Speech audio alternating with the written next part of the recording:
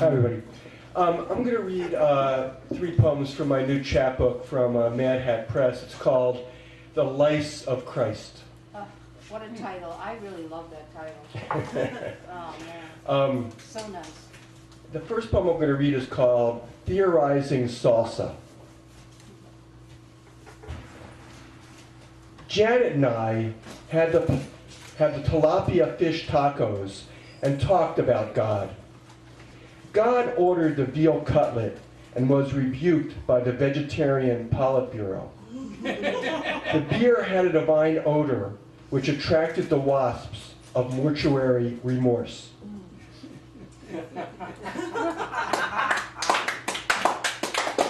Um, this one is called uh, The Knitting Needle, and uh, it's about uh, Lucian Carr, uh, a writer associated with the Beats. Um, the Knitting Needle.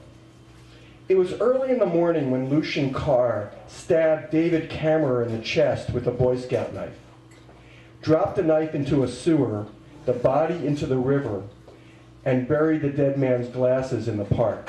It was later that afternoon when Lucian Carr went to see the Four Feathers with Jack Kerouac, walked to the Museum of Modern Art to look at the Légers, and turned himself in to the skeptical police. It was a gray afternoon when Lucian Carr, holding a torn copy of A Vision by William Butler Yeats, pled guilty to first degree manslaughter and was sentenced to a reformatory in Elmira, New York.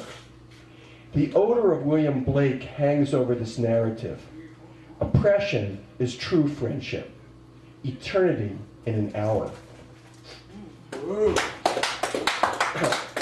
And this one is called uh, Helix Poem, and uh, it's, a, it's a playing with form poem, uh, I would say, and it alternates uh, uh, words and uh, phrases from two sentences, one from Samuel Johnson, the penultimate sentence of his Rambler number 47, and the last sentence of Araby by James Joyce, the, the first story in, in Dubliners.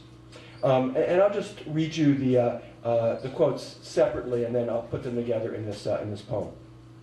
So from Johnson, Johnson's line is, Sorrow is a kind of rust of the soul, which every new idea contributes in its passage to scour away. And the line from Joyce is, Gazing up into the blackness, I saw myself as a creature driven and derided by vanity, and my eyes burned with anguish and anger. And, and this is the kind of braided poem, uh, Helix poem. Sorrow, gazing up, is a kind into the blackness of rust. I saw myself of the soul as a creature which, driven and derided, every new idea by vanity contributes, and my eyes burned in its passage with anguish to scour and anger away. Thank you. Yeah.